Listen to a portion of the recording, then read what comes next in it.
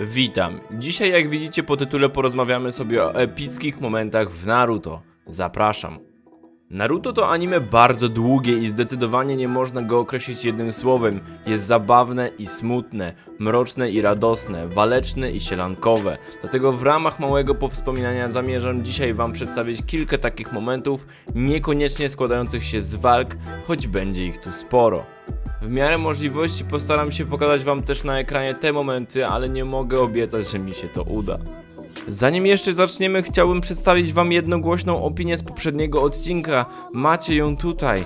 Dziękuję serdecznie też tym osobom za wspieranko kanału. Staram się jak mogę, aby wynagrodzić wam chociażby to w filmikach. Dzięki. Zaczniemy od klasyka. Jeśli już zaczęliście oglądać ten filmik, to możecie być praktycznie pewni, że się to pojawi.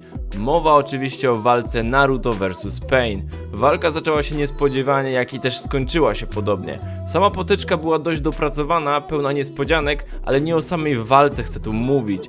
Podczas tego wszystkiego zdarzyło się kilka bardzo fajnych momentów, takich jak na przykład śmierć Kakashiego, która była dość sporym ciosem dla mnie, ponieważ uwielbiałem tą postać, tak samo poświęcenie się Hinaty, które też było strasznie dobijające.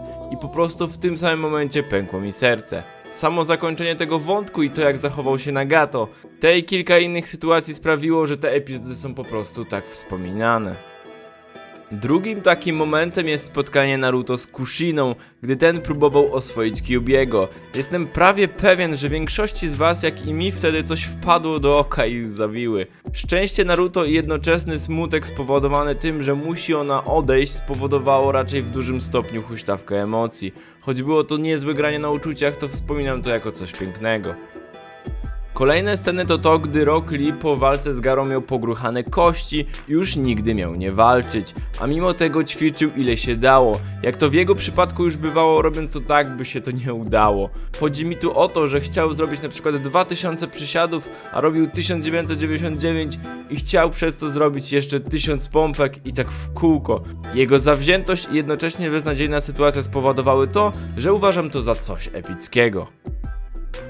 Ogólnie walki full taijutsu były wspaniałe. Pamiętam trzy chyba takie najlepsze, czyli Naruto z Sasuke pod koniec Shippudena, Rock Lee z Kimimaro i Kakashi z Obito. Każda z tych walk była bardzo dopracowana i wyglądało to po prostu wspaniale, a ta Rocka Lee z Kimimaro była po prostu zabawna, ale jego ruchy były po prostu ciekawe i niezapomniane. Jak już jesteśmy przy mistrzu taijutsu, to nie może tutaj zabraknąć sceny, gdy ściągnął on pierwszy raz ciężarki z kostek. Pozostali myśleli, że to tylko kilka kilo, co oczywiście było błędne.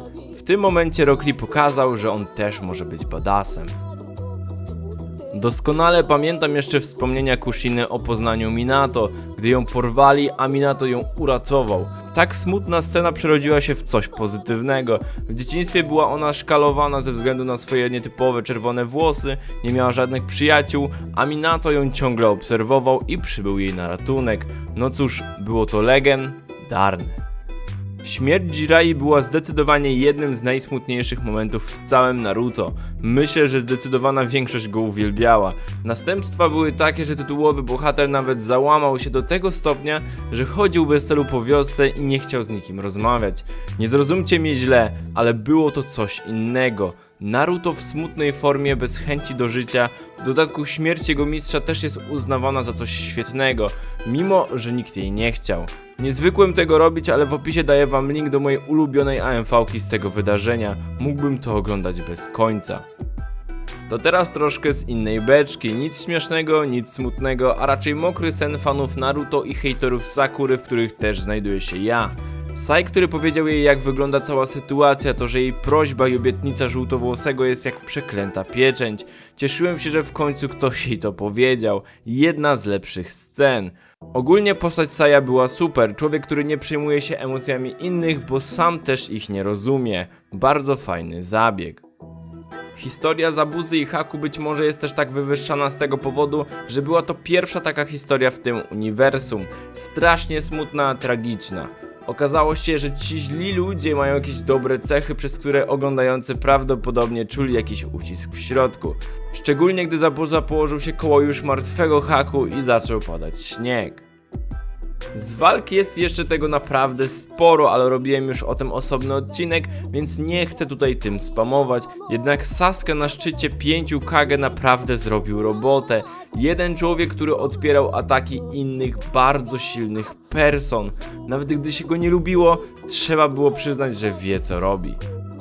Historia Obito, nieraz to przyznawałem i pewnie jeszcze nie raz to powiem. Jego mroczna historia była po prostu wspaniała.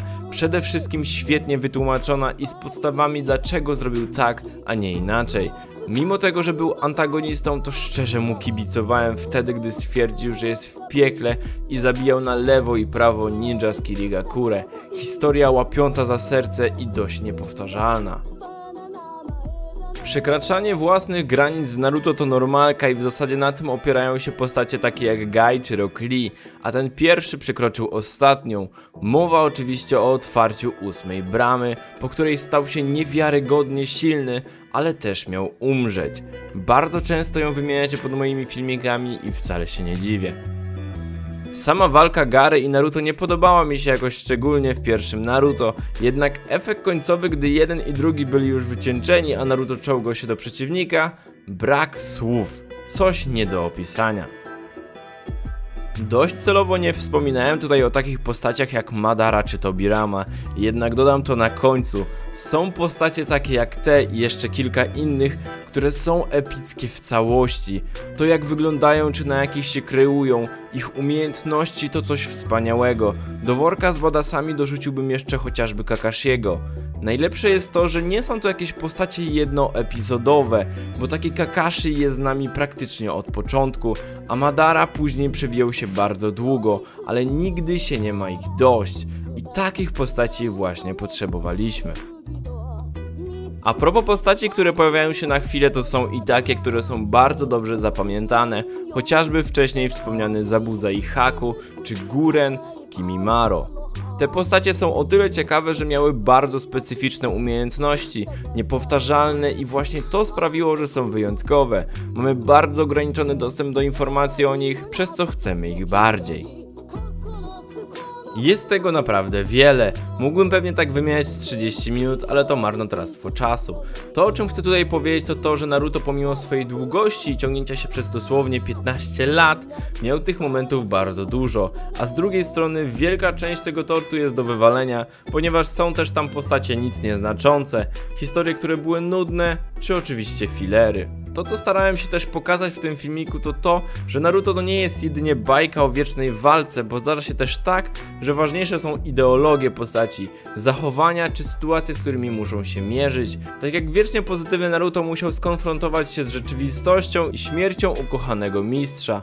Powtarzałem to kiedyś i powtórzę to dziś. Nie jedno anime jest znacznie lepsze niż film czy serial. W jednym odcinku może się dziać dużo więcej niż przez połowę jak miłość. A wy jakie momenty uważacie za epickie i po prostu niezapomniane? Dajcie znać w komentarzach. Nie zapomnijcie lajkować, dać łapkę w górę i polubić ten filmik. Cześć!